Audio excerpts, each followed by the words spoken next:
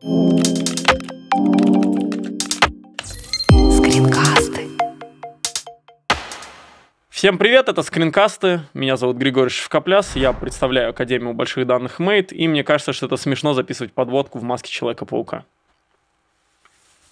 Так, ну что, давайте серьезно. И сейчас мы поговорим с вами про алгоритмы и структуры данных.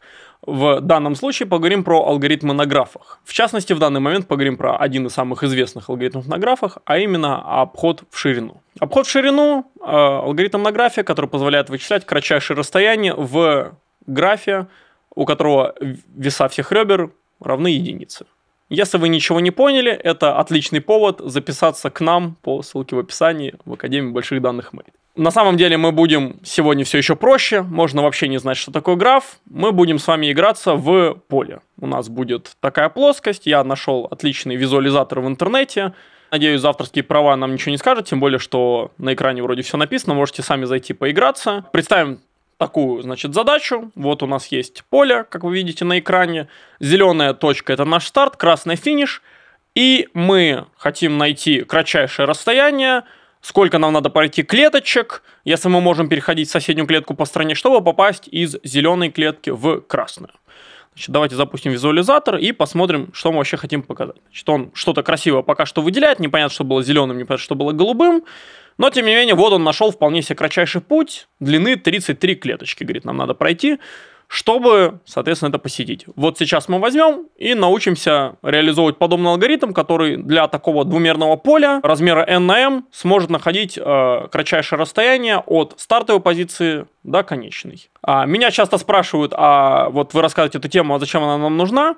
Ну, как бы, когда мы говорим с вами про графы и кратчайшее расстояние, не поверите, все мы живем на одном большом графе, да, там карты, наверное, все видели, где у нас есть всякие города, дороги, что-то они бывают платные, они бывают длинные, и вот наверняка каждый из вас пользовался каким-либо навигатором, чтобы понять, а как ему быстрее попасть из точки А в точку Б. Поэтому алгоритмы на графах обычно на самом деле не вызывают лишних вопросов о том, зачем это нужно. Давайте начнем с этим знакомиться, посмотрим, как это. Формат входных данных у нас будет такой текстовый, да, ровно тот же самый на самом деле э, поле, что было только что в визуализаторе, да, где за серые, значит, перегородки у меня будут отвечать знаки решеток, точки это пустые клетки, э, зеленая, соответственно, точка это будет называться S, и, соответственно, конечная точка будет называться символом T.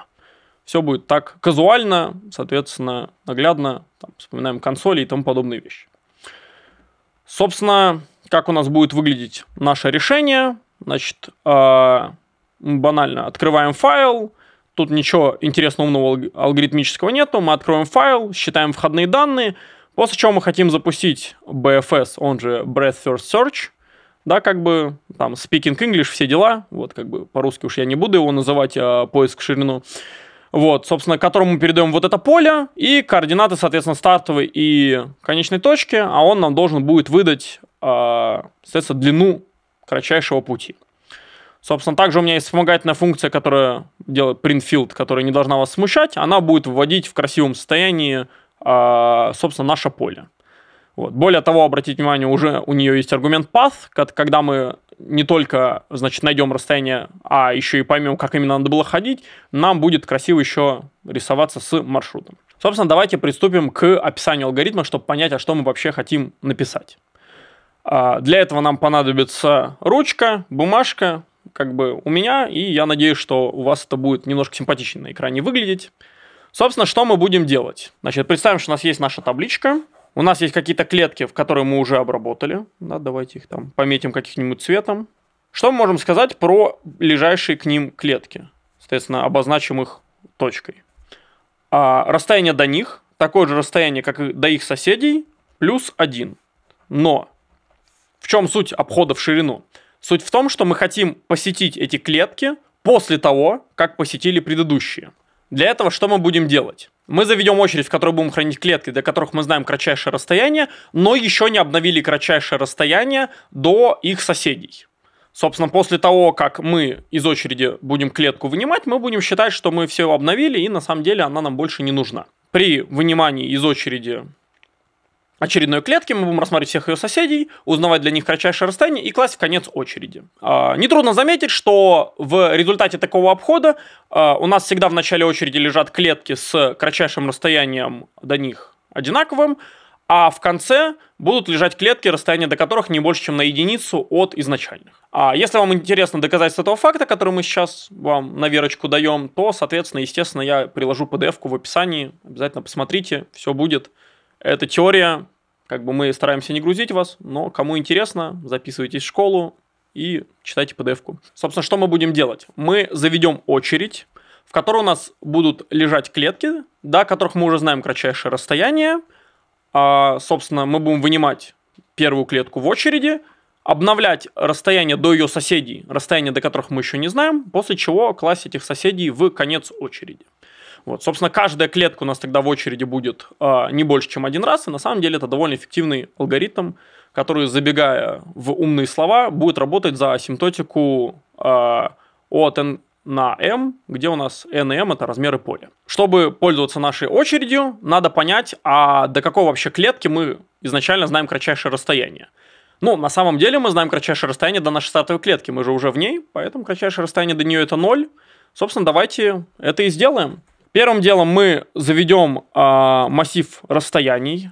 Э, изначально мы будем говорить, что давайте заведем константу inf, да, которая в данном случае, например, нам подойдет как 10 в 9. Да, это какое-то очень большое число, которое больше, чем любое э, кратчайшее расстояние в нашем э, поле. Собственно, заведем двумерный массив такого же размера, как э, наше поле. Да, для этого давайте для удобства создадим переменные n, в которую запишем, скажем, что это число э, строк в нашем массиве строк field, а m, соответственно, это будет длина этой строки. Да, в данном случае я не буду никакие защиты от дурака прописывать, потому что понятно, что я знаю входные данные. Вот, поэтому, соответственно, я знаю, что строка гарантированно не пустая, никаких а, null здесь быть не может. Собственно, что мы сделаем? Мы берем, заводим массив такого же размера, массив расстояний. Говорим, что изначально мы расстояние ни до кого не знаем, это то же самое, что пусть это расстояние будет бесконечно большим. Взяли, завели и перепутали NM местами. Отличная ошибка. Ставь лайк, если тоже такую делал. Так, собственно, еще, так как нам нужно знать, до каких э, клеток мы уже знаем расстояние, до каких нет, это можно хитро делать с массивом D, но для наглядности давайте заведем массив used, опять же, такого же размера, опять же, изначально он будет инициализирован значениями false, где мы будем для каждого, значит, клетки знать, а правда ли, что мы уже доставали ее из очереди или еще нет даже не так не доставали, а правда ли, что мы уже клали ее в очередь или нет. Так, помимо массивов D и used, заведем очередь, которая в данном случае, спасибо питону, а, мы будем называть ее деком, потому что стандартный дек есть, а со стандартными очередями там есть какие-то магические штуки, которые лично я не понимаю, потому что почти не пишу на питоне. Вот, но тем не менее, используя его для наглядности, мне кажется, что он воспринимается довольно просто. Если нет, опять же, поспорьте со мной в комментариях. Отлично. Значит, мы завели очередь, она же дек, но это нам не мешает. После чего нам надо в эту очередь что-то положить. Правильно? Потому что а с чего же нам начинать? Нам же нужно какую-то первую клетку вынуть из очереди. И это, как мы обсуждали ранее, будет стартовая клетка. Собственно, мы говорим, что у нас до S, значит, нулевого, так как S это у нас кортеж, расстояние до него 0.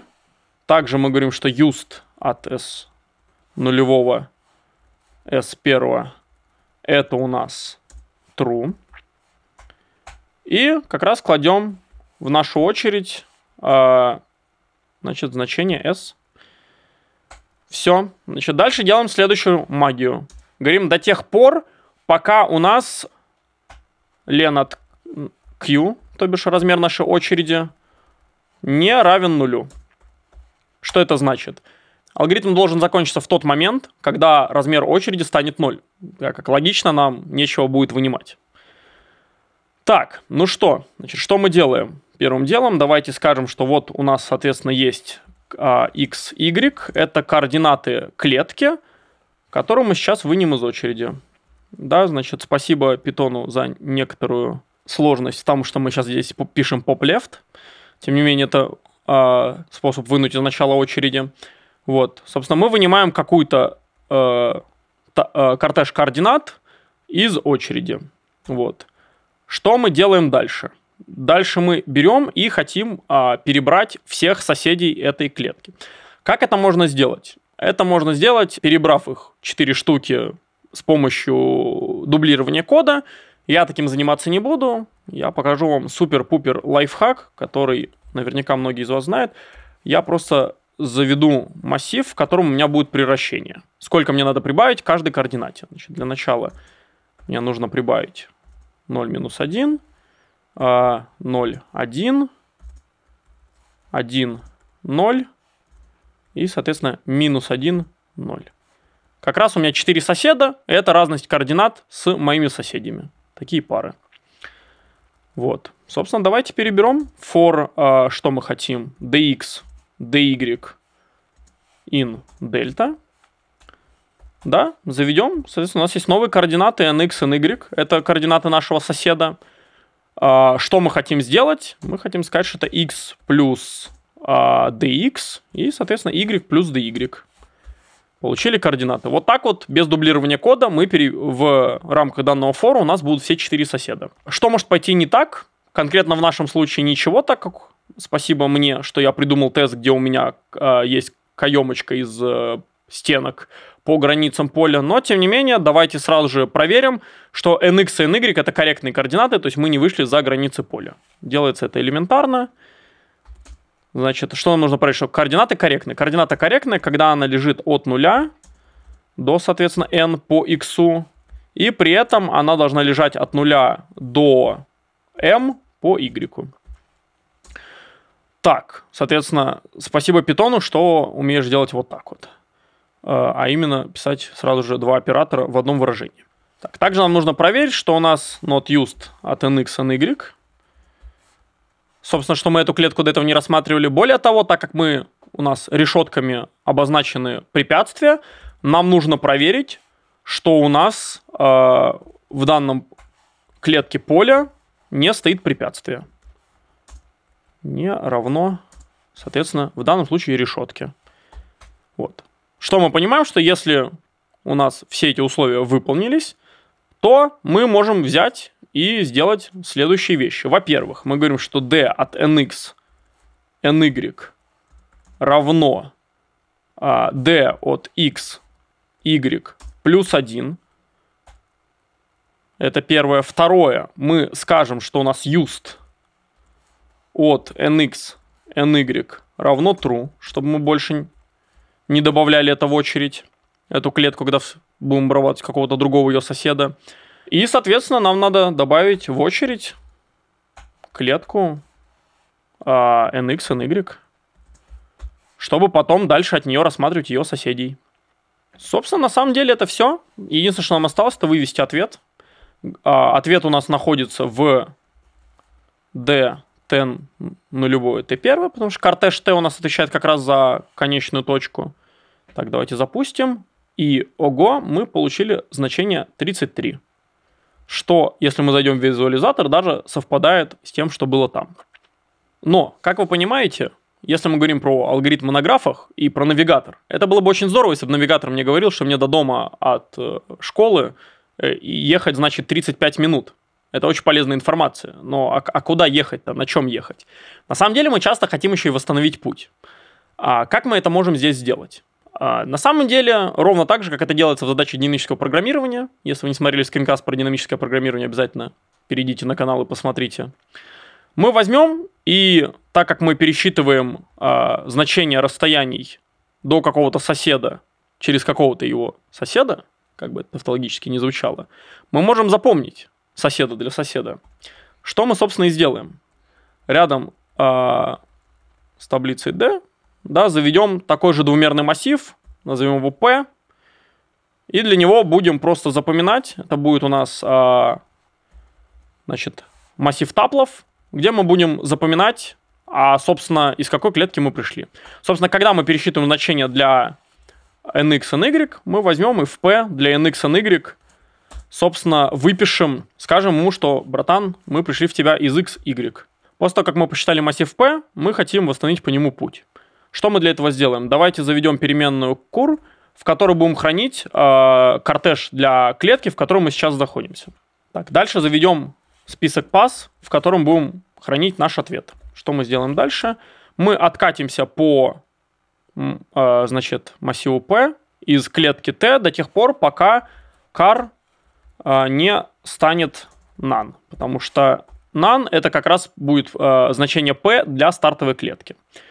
Вот. Что мы, собственно, делаем? Мы берем, добавляем в pass значение, соответственно, нашей текущей клетки, где мы стоим, после чего говорим, что car это не что иное, как p от, соответственно, кур нулевого кур первого, а именно клетка, из которой мы пришли. Так, собственно, дальше нам надо не забыть сделать реверс от а, нашего пути, так как мы все-таки собирались идти, значит, из школы домой, а если мы будем восстанавливать в обратном порядке, то логично, что и маршрут мы получим в обратном порядке. А дальше воспользуемся магической функцией, которая у меня уже написана, а именно printField, которая получает поле и получает путь, и, собственно, берет и в такой же символьной графике просто отмечает путь. Собственно, давайте запустим, проверим, что вот действительно у меня ноликами нарисовался какой-то путь. Единственное, что, как видите, он перезатер стартовую клетку и конечную. Давайте для этого воспользуемся срезом в питоне и передадим без первого и без последнего значения наш список. Вот, как видите, получили что? Соответственно, вот наша стартовая клетка, вот наша конечная клетка, и, собственно, получили маршрут длины 33, по вот буковкам О он идет. В силу того, что мы перебираем соседей в определенном порядке, как вы можете заметить, он как будто жмется к правой стенке. Если бы мы перебирали соседей в другом порядке, то можно было бы и другой какой-то путь найти. Тем не менее, из нескольких путей мы находим просто какой-то. Таким образом, что мы сегодня поняли с вами? Что алгоритмы на графах это не всегда сложно, это довольно наглядно, это оказывается практически применимо, и мы теперь умеем искать с вами при помощи обхода в ширину не только длину кратчайшего расстояния на клетчатом поле, но еще и сам путь. С вами был Григорий Шевкопляс. Подписывайтесь на канал, ставьте лайки и поищите мои пальцы. Они же где-то там, да? меня тоже.